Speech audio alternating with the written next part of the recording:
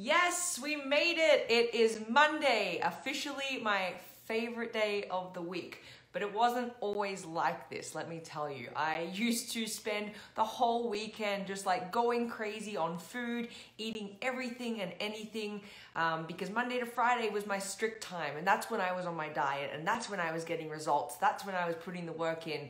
And I know that there are so many of you out there that are having this same battle, and I promise you it does not have to be this way. The reason that I love Mondays so much is because it does give people this chance to have a fresh look on things. But what I really want to deconstruct and what I really thrive with helping people with is not seeing Monday as a time that they need to reset. This is about creating a lifestyle and this is about about creating something much more long term so that you don't feel like you're going on this roller coaster ride filled with ups and downs. And I've been there, you guys, so I understand what it's like. Um, everything used to fit a little bit tight on that Monday. Everything used to be a little bit more difficult. I'd have, you know, even just weird feelings in my body, like these underlying, I, I don't even really know how to explain it really well. It was almost like I was hot underneath my skin, and I used to remember feeling like it was my body's way of getting out the toxins that I'd just put in on the weekend. Um, I just used to feel foggy. I used to get these slumps, and then it would take me till about Wednesday to feel light and happy again. And then I would do it all again on the weekend. I would, you know, go big or go home when it came to food. I wouldn't exercise, and it just became this vicious cycle. So I'm really, really passionate about helping people get out of that for good. This doesn't have to be something that we just think is an option for us maybe one day down the line. This is real and you can get there. What I do really want to talk about today um, is an afternoon slumps especially on a Monday, even if you are hitting this active lifestyle and you're finding that you're, you know, you've got a balance going between your weekends and your midweek, it's still very common to hit this afternoon slump and to feel like we have lost our motivation, to feel like we can't do it anymore. And normally that happens on a Monday. So I want to talk about these afternoon slumps and um, how to get around them because I'm not opposed to having them come. Um, we're humans, so instead of trying to fight and put up all these walls for these natural things that happen, I would much prefer to allow it to come, but then know what to do with it and know how to deal with it because I think that is more sustainable long term than trying to make all of these drastic life changes to prevent the afternoon slump. I think we can certainly get there, don't get me wrong, but when we're trying to go from zero to hero overnight, it can be really difficult, and then that's often when we fail. So, I'd like to start with providing you some tips and tricks on how to overcome those afternoon slumps, and then we can work on the deeper stuff from there. Um, so, you might see in office places um, people going for that afternoon workout. I was always sitting there watching people being like, I could never do that. I don't have the energy. I also am going to get all gross and sweaty. How am I supposed to come back to work afterwards? Um, so I'm not necessarily saying go and hit a high intensity workout, but go and do something just for 20 minutes that's going to slightly raise your heart rate. This is going to ensure that you have this energy boost.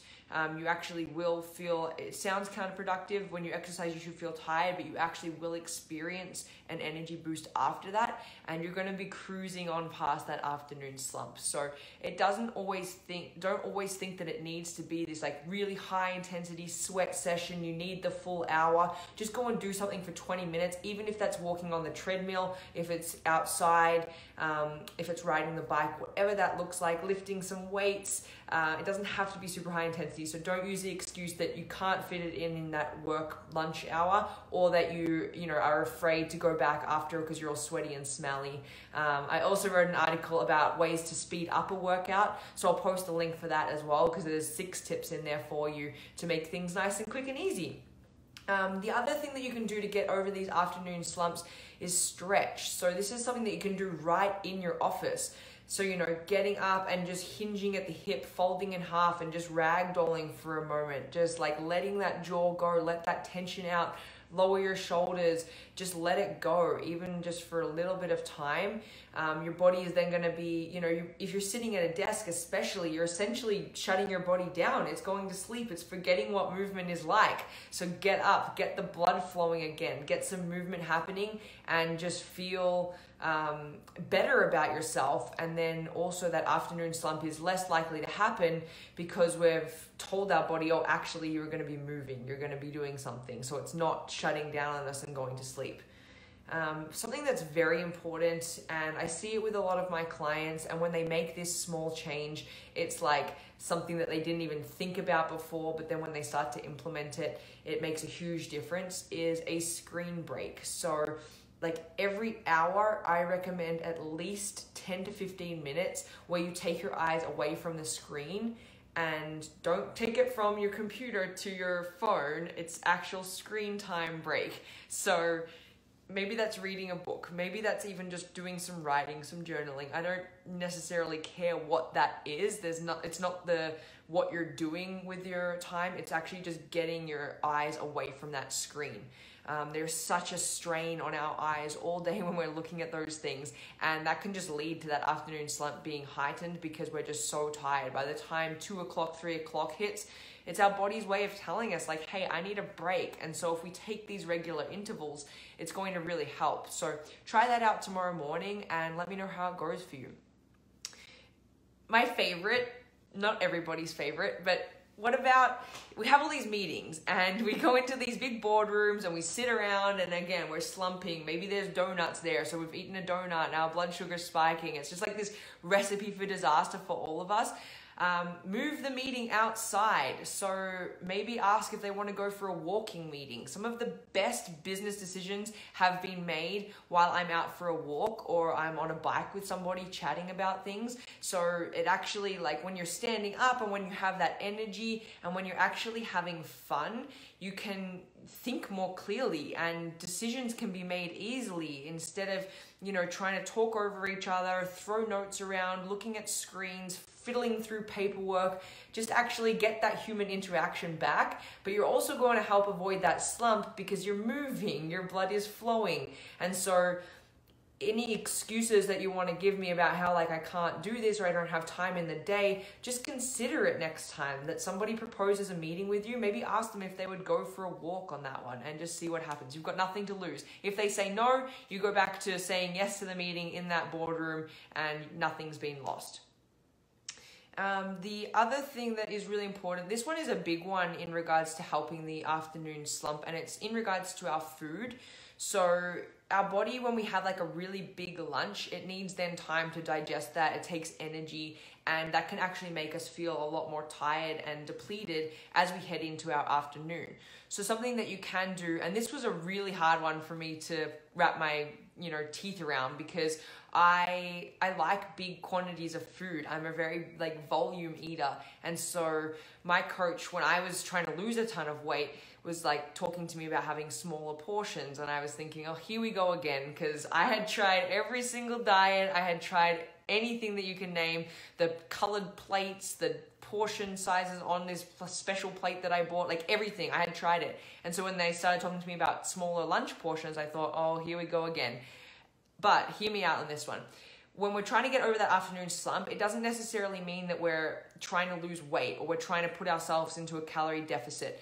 But what we're trying to do is alleviate some of the strain that our body needs to digest all of that food. And so if we have a smaller lunch and follow it, you can follow it pretty quickly after with like a bigger snack and try and have that snack be um, a mixture between like carbohydrates, proteins, and fats. But if we can switch that around instead of having that huge lunch and then using all of our energy to try and digest it and then we feel tired, maybe make that switch and see how you feel. I was very hesitant to do this. I didn't like the idea of having a small lunch because by that time I felt hungry and I was ready to eat. Um, but you know, having a, a good breakfast, that mid morning snack, and then a lighter lunch and a heavier afternoon snack. After about a week, my body really adjusted well to that no more afternoon slumps, no more brain fog. And then I'm an evening workout person for the most part. And so it actually helped me have energy and motivation to want to go do that instead of just feeling like I needed to go pass out on the couch and watch Netflix. So I really highly recommend that one. Just try it out, maybe even uh, every other day. Don't try again, go from zero to hero. See what you're capable of and know that there's no right or wrong way. Just try and make these changes if you are experiencing that afternoon slump to overcome it. And then finally, one of my favorite things in the world is sleep. So, my challenge to you tonight is to go half an hour tech free before bedtime and then also try and get to bed about half an hour earlier than you normally would. So I'm not going to be your mom here. I'm not going to tell you that you need to get to bed by 9:30 or anything crazy like that. I'm a grandma. I like my sleep and I have no issues going to bed early, but I know that we're not all wired that way or maybe we have work in the evening and we can't get to bed that early.